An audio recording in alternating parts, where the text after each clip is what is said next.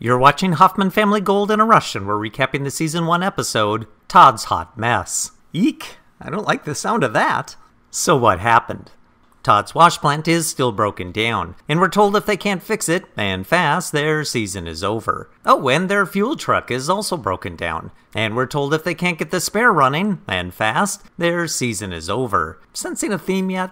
Both are fixed with relatively little drama, and they start running pay. A 150 yard test of the ground finds 2.5 ounces. This prompts Todd's first anguished face rub of the season. And we're told if they can't find better pay, and fast, their season is over. Suddenly, and without warning, claim owner Jason arrives and isn't happy. He wants to open a new cut where tests show good gold. Todd and Andy argue against it because they believe the ground won't thaw in time. After a long, awkward argument, the claim owner wins, but isn't happy. The funniest thing about this entire scene, if you want to call it funny, is that they are standing in front of a whiteboard during this conversation, and on it you can see what appears to be the show crew's production outline written out, including what the characters are going to talk about during repairs, and it also properly predicts the surprise visit from the claim owner with Todd. This is honestly a new low for a show full of new lows. Anyway, while Andy clears the new ground, Todd helps by standing around filming on his phone. Three days later, it's still not thawed. After a long, awkward conversation between Todd and Andy, they head to another area on a southern slope.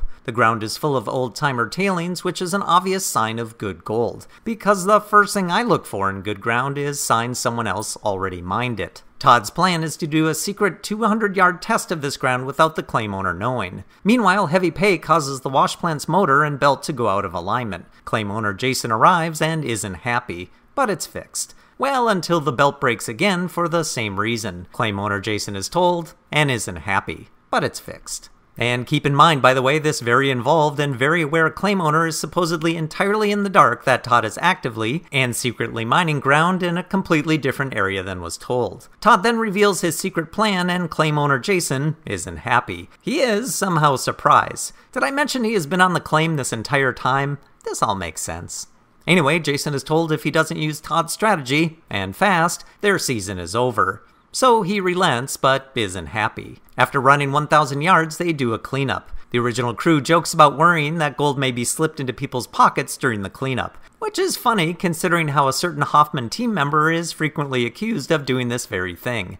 I'm not accusing anyone, I'm just saying it's funny. The cleanup produces 30.3 ounces. However, they needed 43 ounces a week to hit the 1,000 ounce goal. The team seems disappointed. No word on the mood of claim owner Jason. Tune in next time when Todd gives up on gold mining and switches to becoming an elevator operator, resulting in him being a failure on many different levels.